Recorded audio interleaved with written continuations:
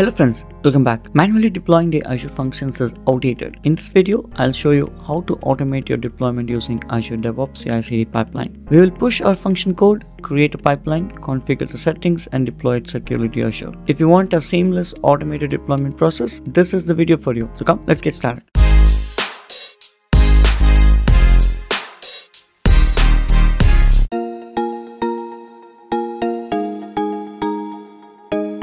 This video is part of the full stack development video series. We were building the Smart Certify online certification platform. Alright, so the code is available in github.com slash learn smart coding. Go to the repository, filter with smart.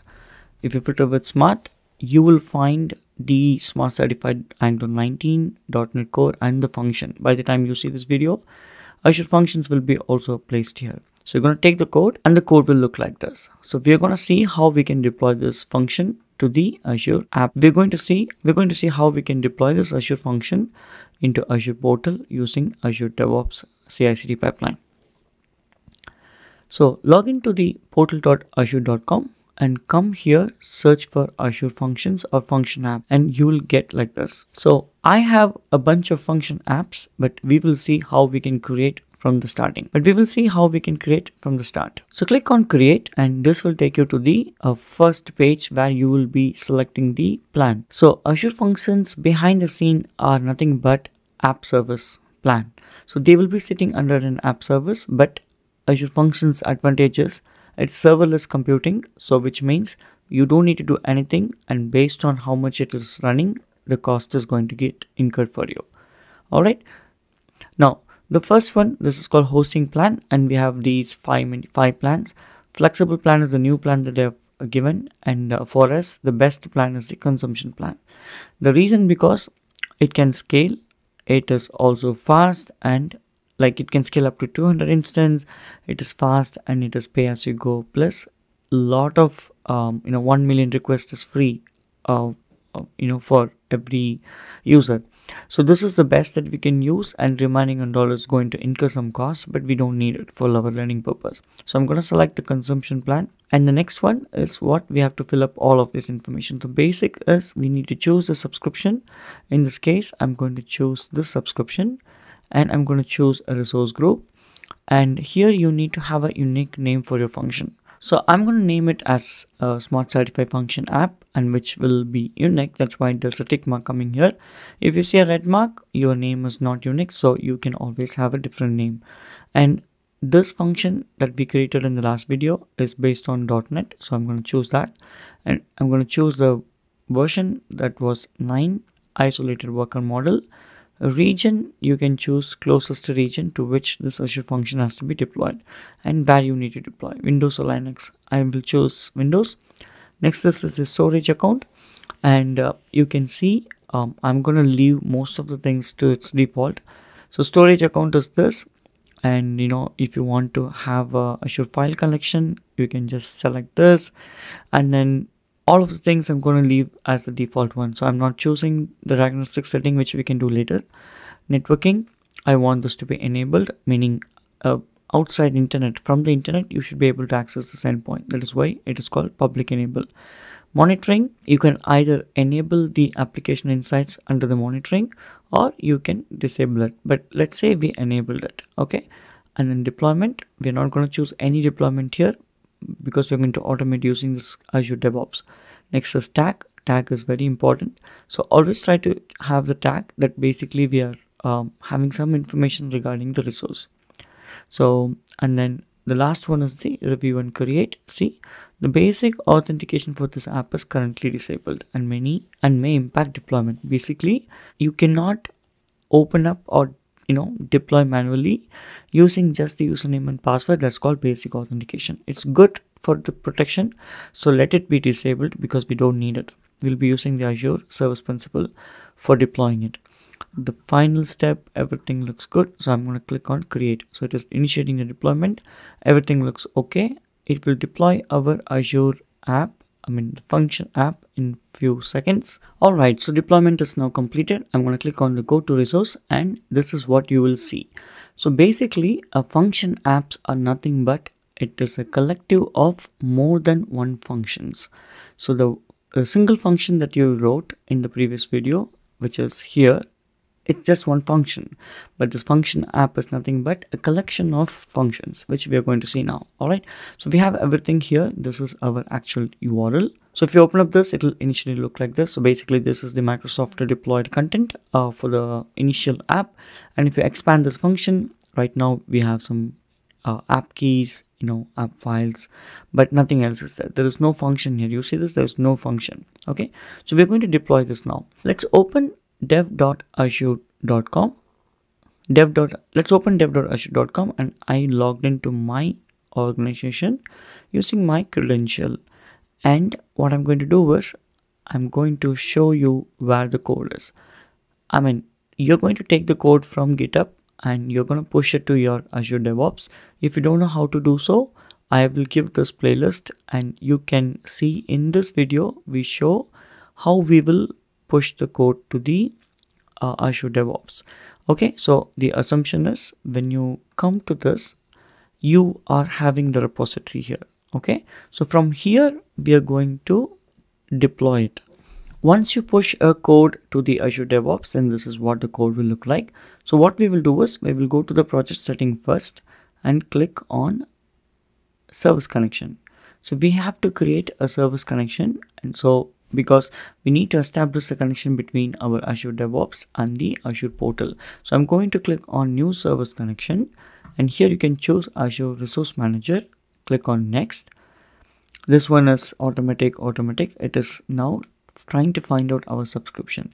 This is going to trigger a login process. See, it's still loading. It will trigger a login process to which I need to log into the Azure portal. It just triggered. So I authenticated myself. Now it is asking me to choose which subscription. This is the subscription under which we have the Azure Function app. So I'm going to choose this. Resource group is this. Service connection is for Azure. I'm going to choose a name like this for Azure Function just for understanding purpose. And I'm going to grant this access. Come here, click on save. It is setting up the connection. So let's wait for the connection to establish. See, we got the new connection. So now what we do, let's go to the repository and go to this pipeline. So I'm going to click on new pipeline. But before that, there are two more pipelines. One is for API, one is for the Angular application. If you go to this um, playlist for our full stack development video series, these two are the two CI/CD pipeline videos that corresponds to .NET Core 9 and Angular 19. All right, I will give you these links in the description, so don't worry. I'm going to click on new pipeline select where is the code. In our case it is azure repository. Select which repository it is and then select the next option. So here options are .NET or function. You see this .NET core function app deployed to windows on azure. That is what we are doing right? So we choose the windows as our app service plan and we are choosing uh, azure functions to be deployed. So if you choose this template it is trying to load now. So it is going to ask you where is it? Okay i see the subscription and where your your uh, azure function is there. My azure function app is here. I will choose this. Continue. Now it is trying to authenticate me again. So i authenticated myself and now what will happen? Because i choose the subscription it is going to list down what function app we have. And we have this function app. So i choose this this is the working directory validate and configure. Now it is going to read our file and create the CI CD pipeline all together in one shot. And that is what we got.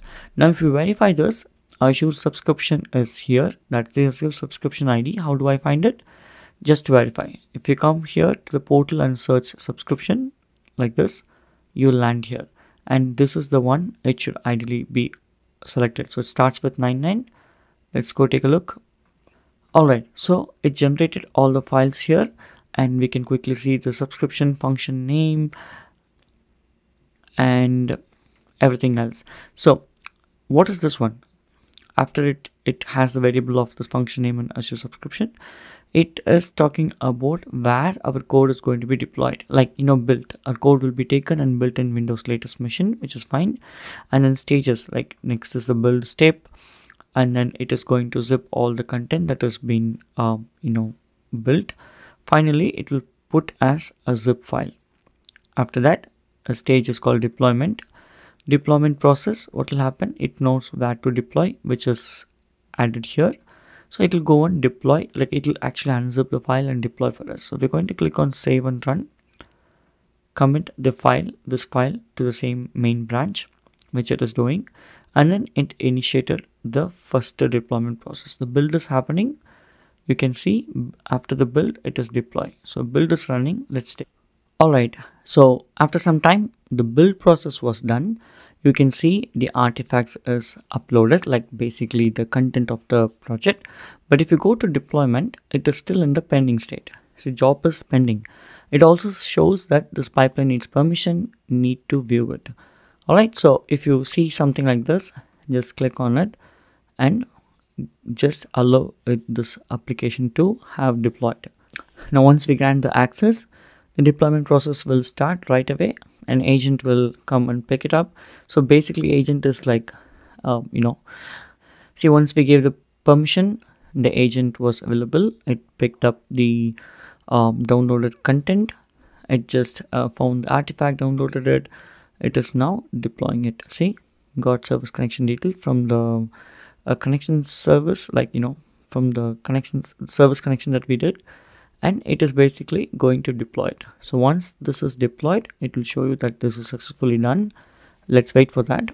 Okay so after waiting for some time it just deployed and everything is good. You can click on the logs if you want to see what it actually did right? So now if we go to this application wherever our function app was there so let's go here and select the one that we just did i think this was the one. And if i go here now under the functions or even under the overview you will see the functions here. Okay so under the overview you can see the functions got deployed. Basically the code that i deployed had four functions. That's why it's four showing. But when you try for the very first time based on this uh, video only one function will come. But eventually you will also get all of these four things which i will be publishing the code to the github repository soon. So once you have this what you can do is you can actually go inside this function and run it okay? But what you have to do is you need to understand few more things. So under function there is something called app keys. So under app keys these are called master key and default key. So this is the key that is used for the function level uh, scope and master key is the one that is used for the admin level scope. All right so let's go to overview again. Let's click on the email notification that is what we will be doing. And basically this is what uh, you know it will show you. So let's wrap this up in the little bit top. Okay so now if you click on get function url this function url will have the default key added to it. See these are the keys that showing up and here it will show you the function url okay? So the code is appended.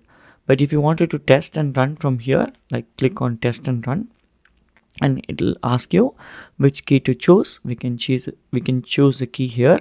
And this is the body right? So let's test this out. What we will get we will see. So i'm not going i'm not going to give anything here and then run it. If the function is running properly see it is showing error that it is invalid body request because we did not send the right things right? So you will also see the logs that has been added here. These logs are based on the code that we have. Okay so this is the code that we have. And let's say if we give the proper values. Okay i'm going to show you what and all error is going to happen and see how to fix it.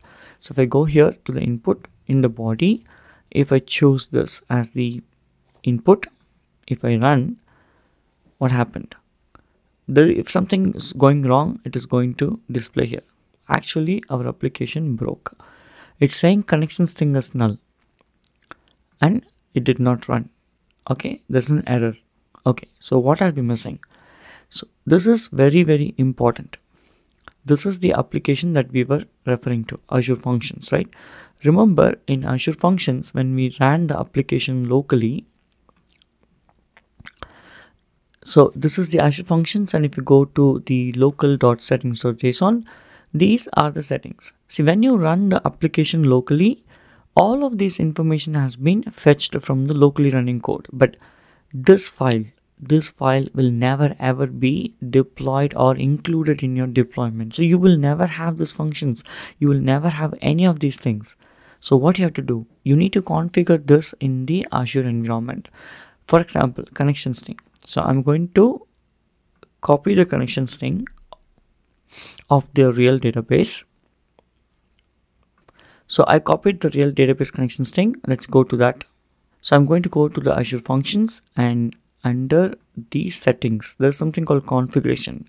So go to the configuration and there will be two configuration. One is for the app settings and one is for the connection settings. So in the connection in the configuration uh, it's not there. It basically shows what uh, the version of this one. So i think we have to go to the environment variable. All right so under the um, settings there is something called environment variable to the left side. If you go here there'll be two two things app settings and connection string. If you go to connection string and it will show you the connection string here. So we are going to add the same section here. Db context add the value and we will choose this SQL server. Apply. Apply here. Confirm here. So we are creating a db context property under the connection string. And we have also gave the values. Now in order okay let it save first. Okay the connection string has been updated. Now if you go to app settings you can see these are all inbuilt variables right? We do not have variables. Something that we wanted based on the application. For example so we need a value like um, from address okay? We need the value from from address. We need uh, the SendGrid API so in order to add any of these values what you have to do is copy the key come here click on add. I'm just showing you. You should just add the value here correct value. This is incorrect value. And then say apply. Similarly add all of these things whatever is, is given to you like for this api to run we need this we need this we need we don't need anything else only these two. So once you add this and apply now if you try to uh, you know invoke the function which we are going to do now so i go to overview go to the same function go to the test and run and enlarge this keep the body here. You can keep uh, function key if you run email notification processed. At least the at least the function ran successfully. If you need to see the logs it will be displayed here okay? And if the connection string i mean if the application insights has been configured you can click here and you can take a look at the log. And log level based on what level you choose it will be showed here. So remember it is easy. If you wanted to just test it out logs are displayed here. So logs are displayed here. And if you give the proper value you know those logs also will be displayed here. So this is how you run the function. Okay? So let's recap. We took the existing function app that was developed in visual studio 2022 for .NET Core 9 isolated version. We created an azure function app in azure portal. We also saw how we can deploy or create the service connection in the azure devops and establish the connection, create the CI/CD pipeline, and make sure our application is deployed to the uh, Azure function. And not only that, we also saw how you can configure the um, you know the connection string and other app settings values in the Azure function app. So if you like this video, don't forget to hit that like button. And if you have any questions or comments, let me know in the comment section. Share this with your friends and and stay tuned. We have a lot of other videos coming up for the same series and I will see you in the next video. Thanks for watching. If you found this video helpful, please give it a thumbs up and subscribe to our channel for more tech tutorials. And don't forget to hit the bell icon to get notified when we post new videos. If you have any questions or suggestions, leave them in the comments below. Happy coding!